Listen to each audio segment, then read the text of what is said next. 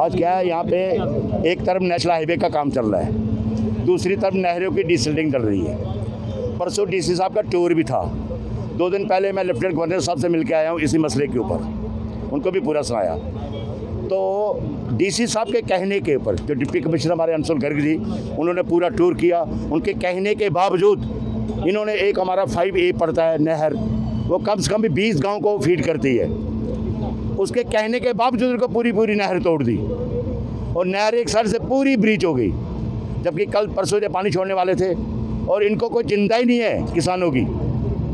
किसान गर्मी से मर रहे हैं, कहीं पानी नहीं है।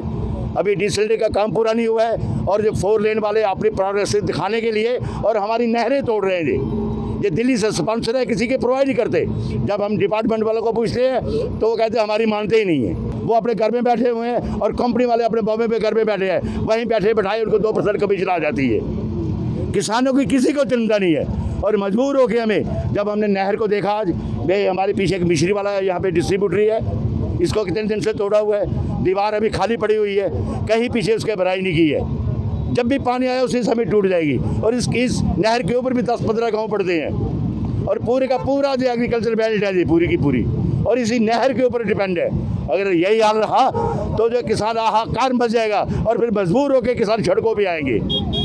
और मैंने आपके माध्यम से यही कहना कि इनको जो नेशनल हाईवे अथॉरिटी वाले हैं, ऊपर से इनको डायरेक्शन है जल्दी से जल्दी अपना काम कंप्लीट करें। और जो इनको डायरेक्शन दी जाती है कि भाई इसको टच मत करो, उसको बात टच करें। ये अपनी मन मर्ज़ी करते हैं और किसी की परवाह नहीं करते हैं। और मजबूर होकर हमारे लोगों को अपने रोड के ऊपर बैठना पड़ा।